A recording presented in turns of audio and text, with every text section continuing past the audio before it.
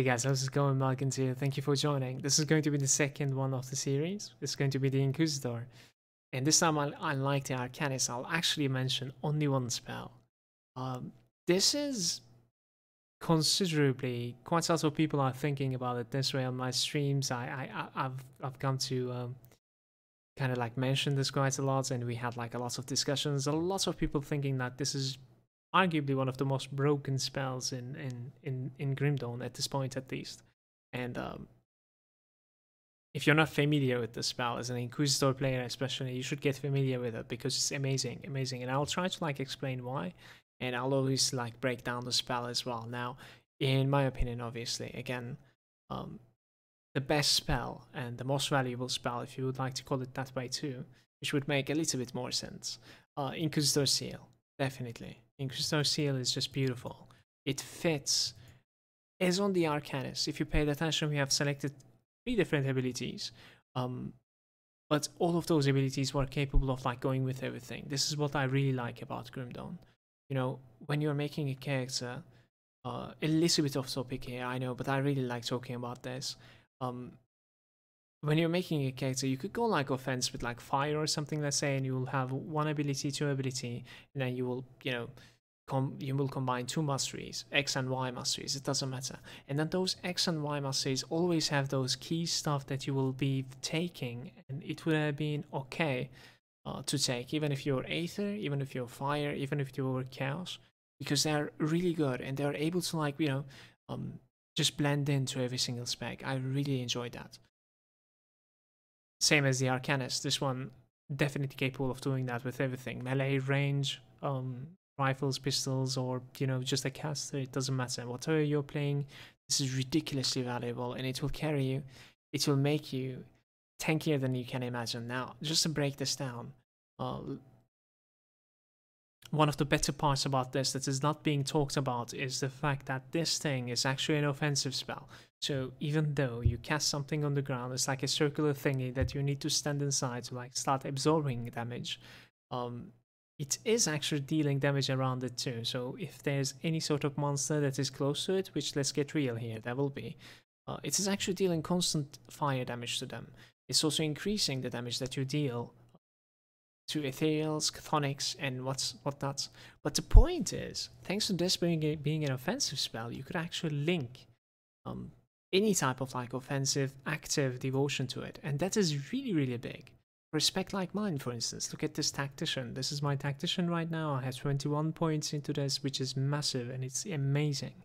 And I have, if I'm not mistaken, I have my um, yeah. If you scroll down over here, uh, my Celestial Power Elemental Storm in it, as you can see. It is really good. If if this was not necessarily capable of like linking, for instance, uh, Arcane Storm form or Elemental Storm, excuse me, I would have to say something like, I don't know, Bucks, which wouldn't be so bad actually. You just need to like put one point and then I'll be able to like, you know, utilize this to like cast Arcane Storm to everything, but I am already using this and it's able to like use the other one as well. It is amazing, definitely. It's uh, one of the better parts about it, the fact that like you can um, use this as an active from the devotions. Now on top of that, while you're standing inside, you know, you're standing for defensive reasons, but it's also like giving you crit damage, it's giving you all damage. It's the early game, the all damage is alright. Later on, I don't think like this much all damage that doesn't necessarily make that much difference because you will get to about like 2000-ish multipliers in my opinion and this character is definitely not the highest multipliers, but yeah, as you can see, like cold 2k, fire almost 2k, and lightning 1.7k. So it's an elemental character. Um, you can definitely get about like 2.4k, and if you if you just focus one and go as offensive as possible. Now, let's try to focus on the absorption part and try to like break down why it is actually as overpowered as I am putting it to be. Um, so how this works is that basically you know you have your defenses. Let's say you have 80% fire resistance or aether resistance, doesn't matter. And then you end up taking 1000 aether damage. But thanks to the 80% aether resistance, you will have only 200 damage in your hands.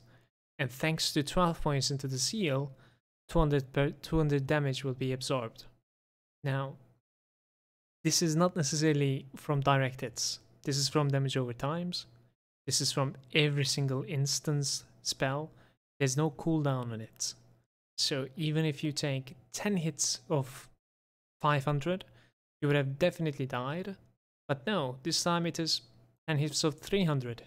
But wait a second, a really good character ends up having 22 points into this. It's not that hard. Um, and when you have 22 points, it's actually absorbing 445 damage.